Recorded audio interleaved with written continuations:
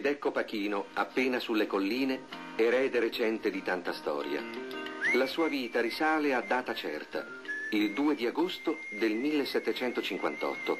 Carlo III di Borbone Farnese concesse al barone Gaetano Starrabba, principe di Giardinelli di Piazza Armerina, il permesso di costruire la città a patto che i fuochi, e cioè i focolari, fossero almeno 50 e che il villaggio fosse a più di due miglia dal mare.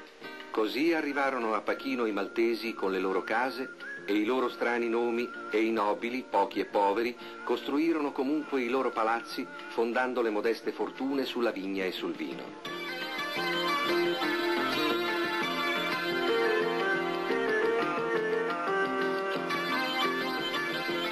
Produzione così importante, singolari i vigneti a cespuglio, bassi sul terreno ricco e ferace, d'aver indotto l'entusiasta e delizioso storico di Pachino, Monsignor Simone Sultano, ad avallare l'ipotesi che il nome stesso di Pachino potesse in qualche modo derivare dal greco pachis, e cioè molto, e da oinos, e cioè vino, derivazione fantasiosa, come corregge Emanuele Umberto Muscova, che sostiene essere recente la grande coltivazione della vite, anche se certo Pachino fu anche deposito di vini e afferma che il nome dovrebbe derivare dal greco paxunos, e cioè scoglio, o dal fenicio pacum, e cioè guardia.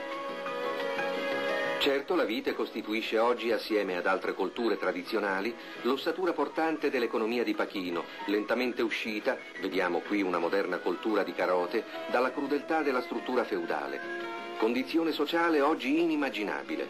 Per rendersene conto bisogna rifarsi ancora alle ingenue e commosse pagine di Monsignor Sultano, che testimoniano del fatto, quasi incredibile, che solo un secolo è trascorso da quando nel 1879 Pachino fu decimata dalla più crudele epidemia che la storia umana possa ricordare, la fame.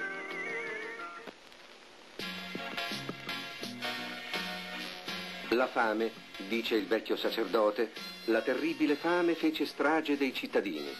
E ancora, noi sappiamo che in quei tristissimi tempi avvennero tra noi scene miserande. Per la fame furono trovate esauste e sfinite delle persone nella campagna brulla e nelle aperte vie, e nelle stanze misere furono trovate morte delle madri abbracciate coi figlioletti, ancor'essi morti nel medesimo letto.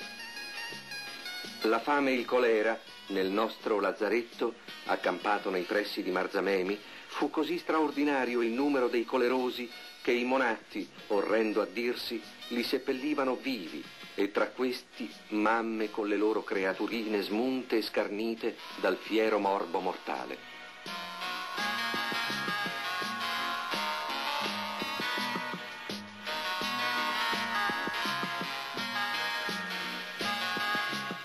Una storia che bisogna sapere. Mentre scorrono le immagini così pacificate di una vita agricola finalmente progredita e sicura, vale la pena di chiedersi il perché del susseguirsi di così strazianti vicende. Certo il colera o la carestia, la filossera o l'emigrazione furono fatti oggettivi, ma a potenziarli venne l'esaurirsi del sistema di sfruttamento feudale dell'agricoltura, cui fece seguito una totale incertezza negli investimenti, nella gestione dei terreni, nell'accumulo delle riserve. È la storia sociale di ogni angolo della Sicilia e non della Sicilia soltanto. La prova di quel patto silenzioso e segreto tra esangui nobiltà meridionali e rampanti industrie del nord che lasciò alla prima spazi per una decadenza senza sussulti e alla seconda il diritto a far crescere una sola parte d'Italia.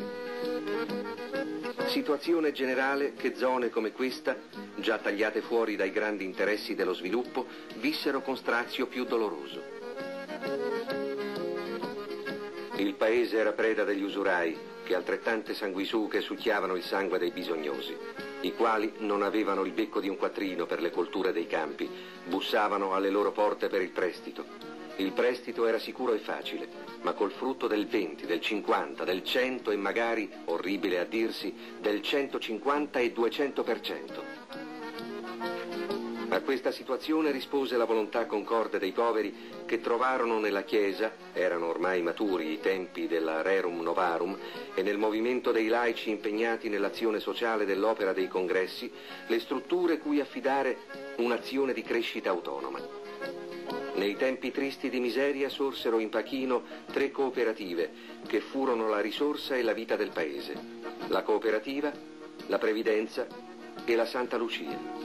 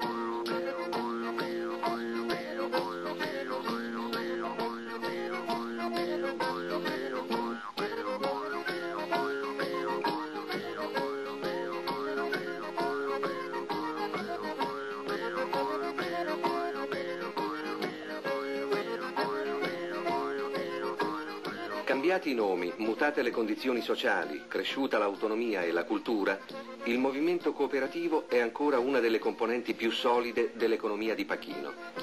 Questa che stiamo vedendo è una cooperativa giovane di appena dieci anni, pochi soci all'inizio, centinaia oggi una delle strutture che garantisce alla produzione agricola, che è qui tra le più ricche, quella continuità e quella serietà produttiva che sono le uniche forze capaci di garantire commerciabilità e successo sui grandi mercati europei, che costituiscono oggi l'unico sbocco possibile per un'agricoltura che vuole trasformarsi in industria.